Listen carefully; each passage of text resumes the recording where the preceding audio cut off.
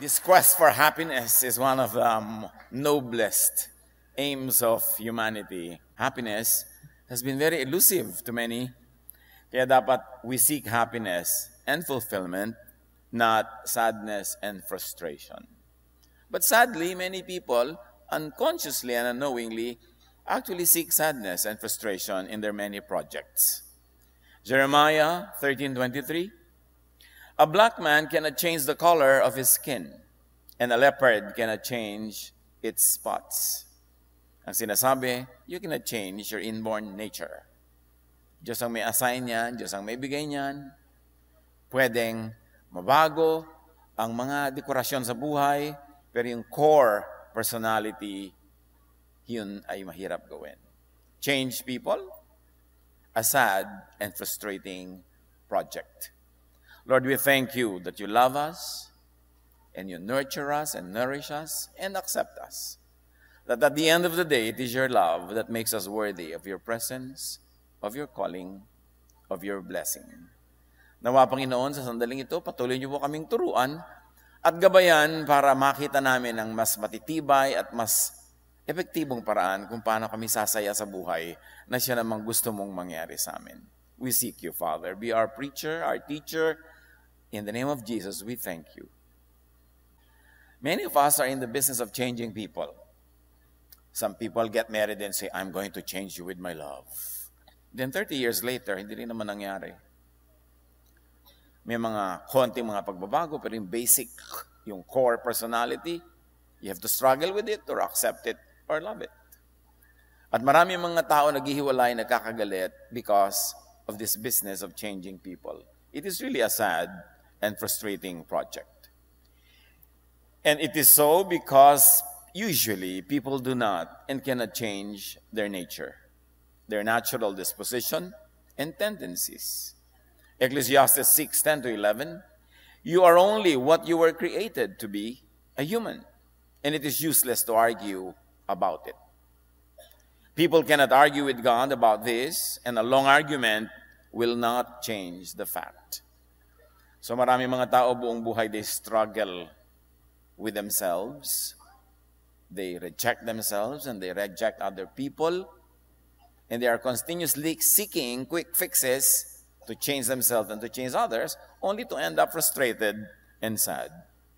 People do not change significantly unless they have the genetic codes on which to base such change.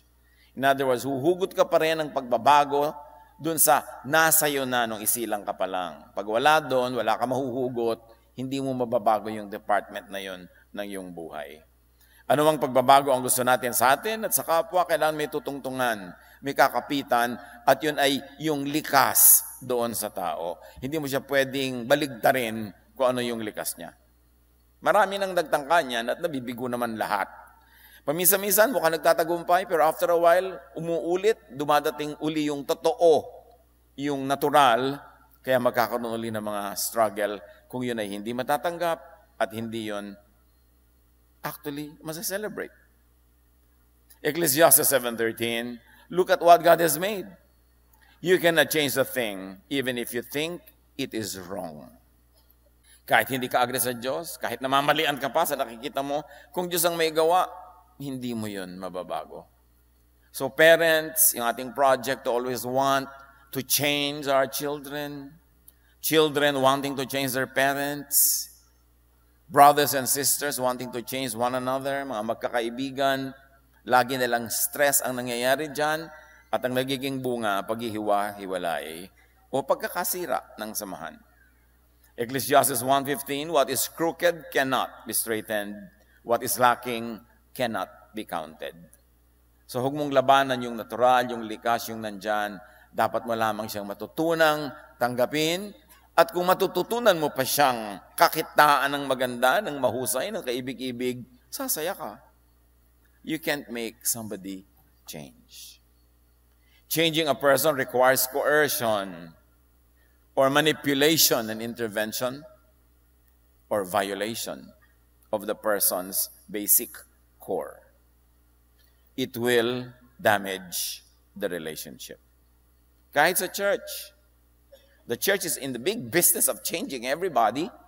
So we're also in the big business of rejection, in the big business of kicking people out, in the big business of going underground, hiding our realities and our truths, because our truths will not be accepted by many, because the many will want, the mob will want to change us.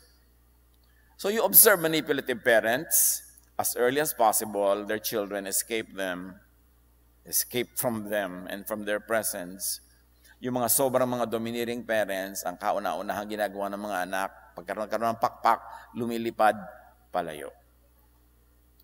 And even if there seems to be a change, when we are manipulating and coercing people, it's really not a change. It is just a transition into another naturally designed other that has always been there but was only waiting for the right time for it to come out. Hindi pwedeng palabasin yung wala naman doon at hindi naman nagtatago doon noon pa man. Nandun na rin, kaya lumabas lang. Tulog lang at naghihintay ng tamang panahon para gumising. Hindi lahat pwedeng magbago the same way. We cannot all change the same way, the same direction, in the same trajectory because we are not all made the same. Hindi tayo kinrate na magkakamukha. We are all unique. Kahit ang ating mga fingerprints, unique. Walang magkakamukha. At ngayon, the higher level of identifying individuality, nasa mata, lalong mas precise, walang magkakamukha na mata. Kaya ngayon sa mga airport, ang sinisilip na mata eh. Hindi nilang fingerprint. Kasi mas nakita na nila na mas obvious na obvious doon ang pagkakaiba-iba natin. You could inspire, educate, support people to reform, to have some rearrangement of their behavior, but never be in the sad and frustrating business of changing people at their core. If you want some success in the changing business, change the object Make it yourself. Change yourself. You will have better success there. Imbes ambisyonin mong baguhin ang kapwa para magbumagay sa kagustuhan mo, baguhin mo ang iyong pananaw. Baguhin mo ang iyong sarili, baguhin mo ang iyong ugali, mas malaki ang tagumpay. Kasi kung ang pagbabago ay nagmumula doon sa taong babaguhin, mas nagtatagumpay yon. Kung ang pagbabago ay isang pasya nung taong dapat magbago o gusto magbago, mas nagtatagumpay yon kesa yung pagbabagong iginigiit, ipinipilit, idinidiin sa ibang kapwa.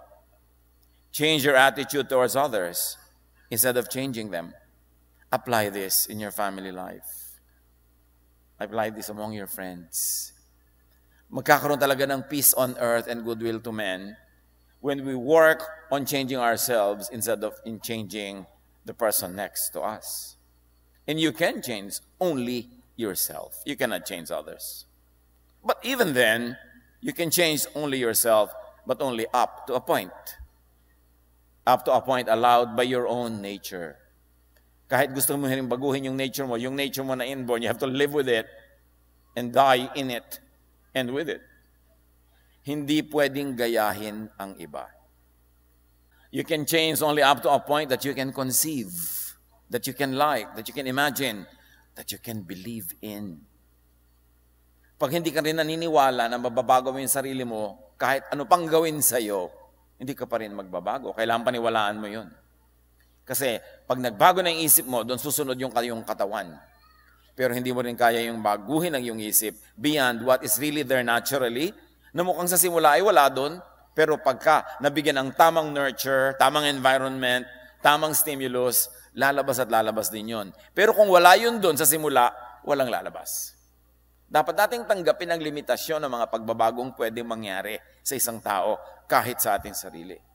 Para hindi tayo lagi na-frustrate. Gaano kalaki na ang frustration ng mga mag-asawang ang tagal-tagal na, paulit-ulit. Hindi na talaga nagbago. Yung ang asawa mo, utangera. Hindi butangera, iba yun. Utangera. Wala ka nang ginawa kundi magbayad ng utang niya. Mula nung honeymoon nyo, utang lahat. Laging may utang dito, may utang doon.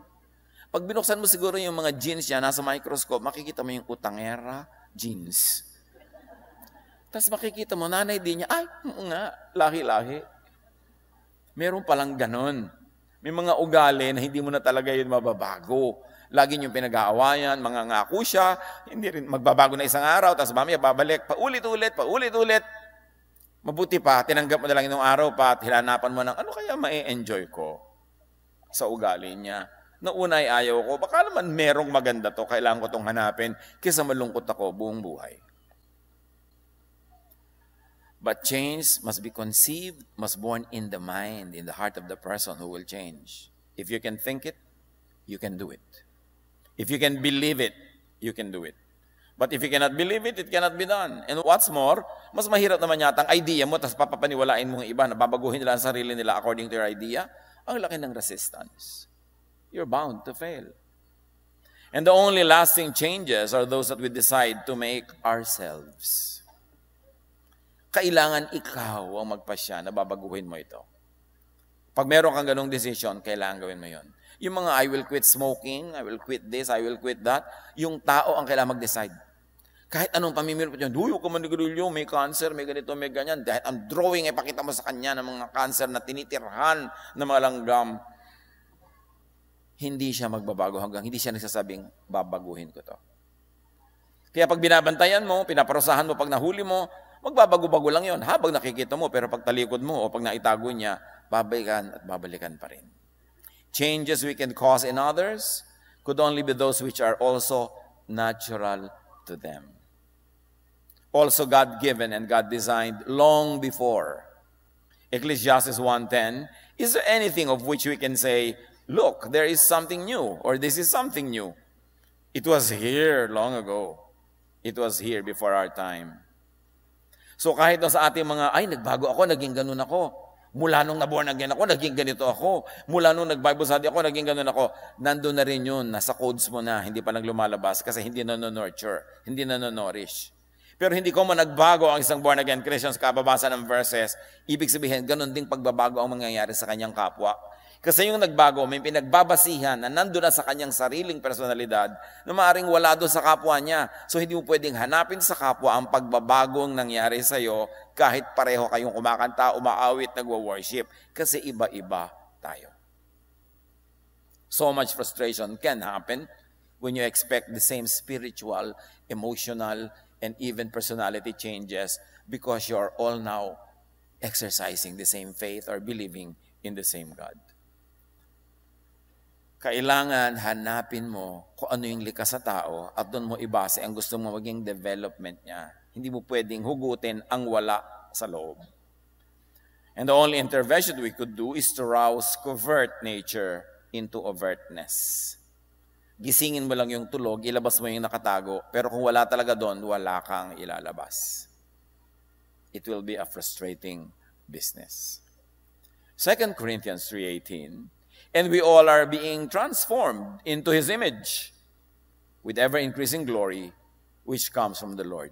So, oh, see, may transformation, but that transformation is God ordained. It is God designed. And that kind of transformation is a basis because that God concept in us and that image of God in us has been in us and with us since we were conceived. In other words, it is not foreign matter. It is there. Kailangan lang gisingin, kailangan ma-encourage, kailangan ma-nurture. Designed na noon pa. Kaya pwedeng mangyari. Our transformation towards godliness is very, very possible because godliness has been in us, ingrained in us, has been part of us since creation. But God created us in unique ways. That's why the transformation that can happen is not uniform iba-iba pa rin. Because God is not a God of sameness. God is God of variety. Ang lahat ng ginagawa niya, iba-iba. Iba-iba ang snow, iba-iba ang patak ng ulan, kung inoobserbahan mo yan. Iba-iba ang isda, iba-iba ang kulay, iba-iba, so hindi tayo pwedeng pare-pareho. Pag ginawa mong pare-pareho ang tao, mabibigo ka lang, mafo-frustrate lang siya, mai stress lang kayong lahat. People do not change significantly unless they have a significant change of mind or heart. And that is only if the change could be affected by and in the mind. So ang mahalaga talaga ministry mo, yung isip ng tao, yung kanyang diwa, yung kanyang consciousness. Hindi mo pwedeng daanin sa pananakot, sa pagpaparusa, hindi mo pwedeng daanin sa pagbabantay, kailangan siya, makarating siya sa point na yung isip niya mismo naliwanagan at nakita niya ang dapat makita at natanto niya ang dapat na maunawa. Romans 12:2 Do not conform to the pattern of this world, but be transformed by the renewing of your mind.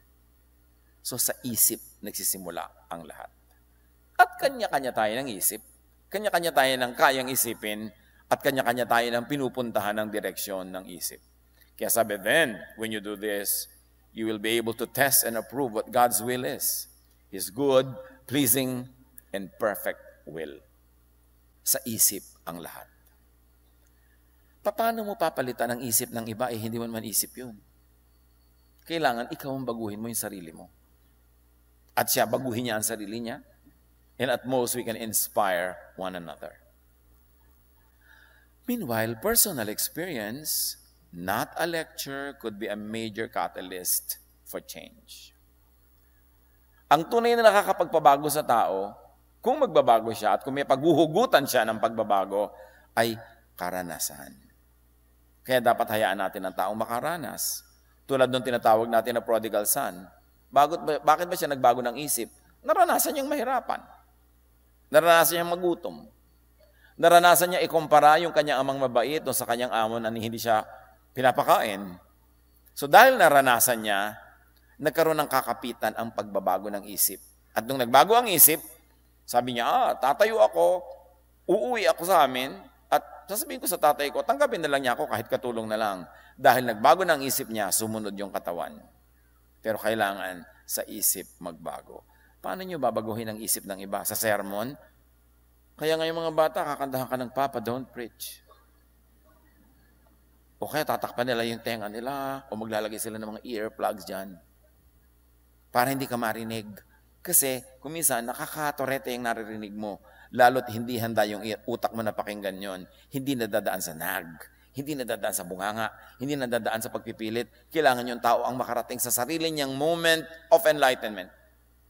Kailangan magkaroon siya ng sarili niyang kaliwanagan at karanasan ang malakas magturo ng pagbabagong loob.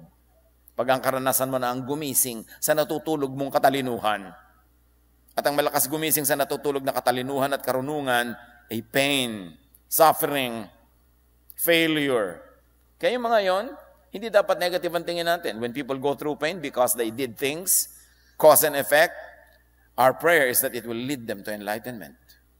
Hindi yun punishment kung naging dahilan para siya magkaroon ng pagbabagong loob.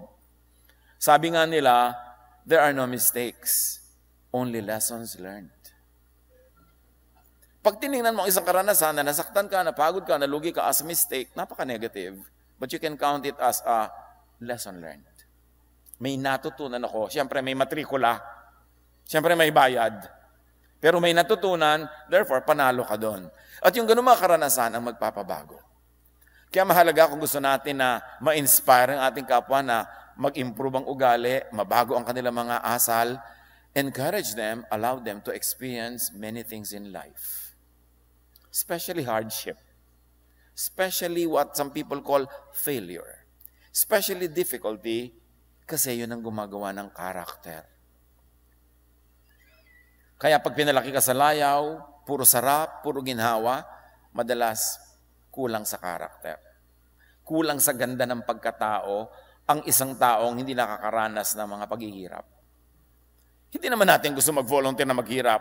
Pero kung naghihirap ka, tapos natututunan mo yung lesson, Napakaganda nun kasi you can turn it into something beautiful.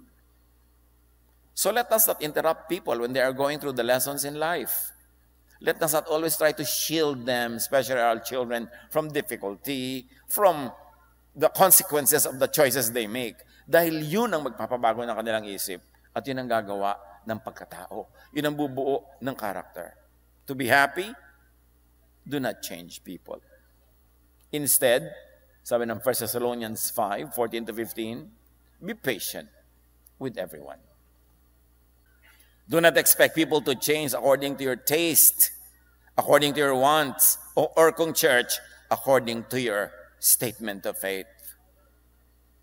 Yung church tuloy nagiging parang factory. People come in as individuals and after one week, they're all uniform. magkakamuka. Nawawala yung personalidad ng mga tao. Do not change people according to your doctrinal stand on things. Let the Lord finish the good work that the Lord has begun. Let the person go through experiences, and what you can do is to inspire, to assist, to help, but not to intervene. Not to manipulate, not to coerce people into sainthood. Do not use religion to change people. In fact, the purpose of a Jesus based religion is to accept people, not to change them. And once accepted and loved, they rediscover themselves and they decide to change towards godliness and they change, not because you police them and coerce them into change. So beware of testimonies. You know, testimony, somebody stands in front and look at me, I read the Bible three times and I'm a changed person. And then the unsaid is, so you too. You too must change the same way I changed, in the same direction I changed. And that is very coercive. Truth niya yun, different people have different truths, personal truths. You change, and you can change only what is in a person because of nurture. So when the nurture is changed, the result will change. But no nurture can change nature. So you've got to learn to accept what is nature, and you can change what is just because of nurture, but you've got to know the difference. Kaya maraming tao in the churches, they go underground because they say, hmm, I'm in this situation, and the same brother or sister is in the same situation, and this person already changed. How come I have not changed yet? You can change the nurture and you can change the product, but what about the nature? Because not all people have the same nature. Instead, let religion help you change your mind about others instead of forcing them to change according to your expectations. Let your religious belief, let your spirituality Change your mind about accepting others, appreciating, even enjoying and celebrating others and their otherness.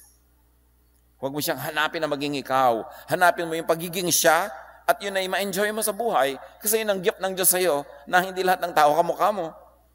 Na mayroong ibang may enjoy outside of you that when you are together, kumpleto ang lahat kasi iba-iba kayo. Ephesians 4, 22 to 24.